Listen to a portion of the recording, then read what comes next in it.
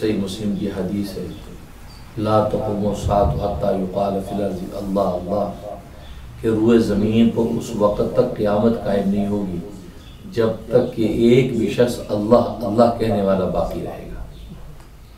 گویا کہ وہ بھی صرف اللہ اللہ کہتا ہوگا، نہ اس کی نماز کا ذکر ہے، نہ اس کے روزے کا ذکر ہے، نہ اس کی زکوٰۃ، حج کا ذکر ہے۔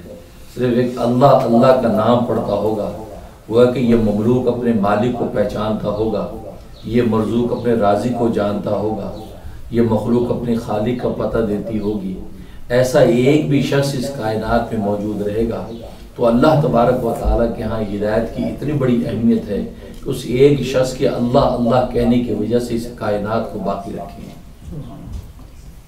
لیکن جب وہ ایک شخص بھی نہیں رہے گا کہ جو اللہ اللہ کہتا ہو کہ یہ مملوک اپنے مالک کو یاد کرتا ہو، یہ مرزوق اپنے راضی کو جانتا ہو، کہ دن کے اندر رزق کو تلاش کرتا ہو، رات میں راضی کو تلاش کرتا ہو۔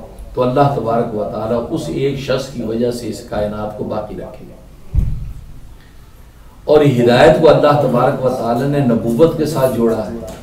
نبوت کے راستے سے اللہ تبارک و تعالیٰ ہدایت بھیجتے ہیں۔ چنانچہ اللہ تبارک و تعالیٰ نے انبیاء اکرام بھیجنا شروع کیے اور پہلا انسان جو دنیا کے اندر اتارا، اس کو نبی بنا کر اتارا۔ حالانکہ اس وقت نبی کی ضرورت نہیں تھی۔ نبی تو اس لیے بھیجا جاتا ہے کہ تاکہ امت کو سدھاریں۔ قوم کو سیدھا راستہ بتائیں۔ قوم گمراہ ہو چکی ہے۔ قوم کفر میں ڈوب چکی ہے۔ قوم شرک میں مبتلا ہو چکی ہے۔ اس کو راہ بتانے کے لیے نبی بھیجا جاتا ہے۔ لیکن جب آدم کو بھیجا جا رہا ہے، اس وقت تو کوئی قوم بھی موجود نہیں ہے، کوئی امت بھی موجود نہیں ہے۔ پھر اس آدم کو نبی بنا کر کیوں بھیجا؟ اس لیے نبی بنا کر بھیجا کہ نبوت کے راستے سے چونکہ ہدایت ملتی ہے، تو اگر اس کو نبی بنا کر نہ بھیجتے، تو یہ پہلا شخص ہوتا جو زمین پر اترتا اور بغیر ہدایت کے اترتا